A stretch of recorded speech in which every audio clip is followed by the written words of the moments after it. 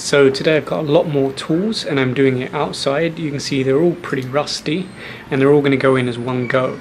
And I'm going to use my watt meter this time so we can measure how much power is actually being consumed while doing this. And then I'm also going to test it against this 12 volt power supply to see which one works better, this or the battery charger. So I'll start by putting them all into the water.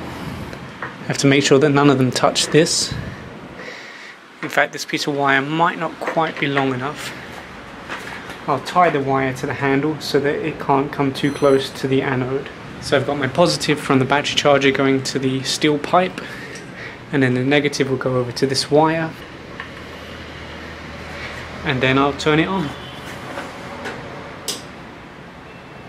So you can see the watt meter is starting to update.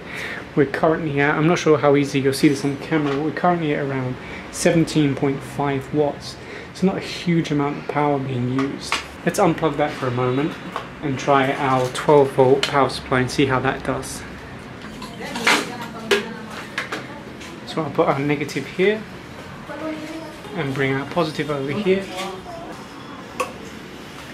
And if we check the watt meter, we're only measuring 4.5 watts. So my battery charger is actually much better than the power supply.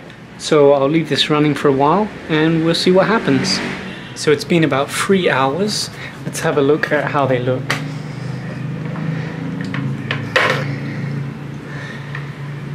Well, they look okay, but what I'll do is I'll take them in, wash them down, and then we can take a closer look at how much rust is actually being removed. So here are the finished pieces, and I would say it was pretty much a success. You can see that this one's even shiny again, where it was all rusty before, and it's so easy to open and close now. Same with this one here, really easy to open and close, and it's pretty shiny. There's some pitting of the metal, but I would say there's basically no rust left on them. This one is also nice shiny metal, no more rust. Uh, maybe, is that rust in there? No, it's not rust, it just needs to be dried. So nice easy tool to use again. I mean, look at how easy that's opening and closing compared to when it was rusty. And then we have our two files here. Now the interesting thing about this one is you can see where it wasn't fully submerged in the water. So we had the rusted section here, and then we have the recovered section here. So that's pretty interesting. And this one worked as well, you know, removed the rust. Probably yeah, there might still be a little bit of rust on there. That seems to be the worst one out of all of these. Um, not really too bothered because I don't actually use this one that much and I could always do it for longer if I wanted. But these ones came out perfect. So yeah, it definitely helps leaving them in there longer and I'll probably just put a bit of oil on these now.